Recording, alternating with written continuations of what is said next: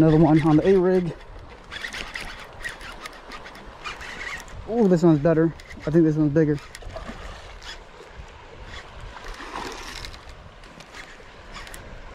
Hell yeah, guys. I got lucky and stuck it out today.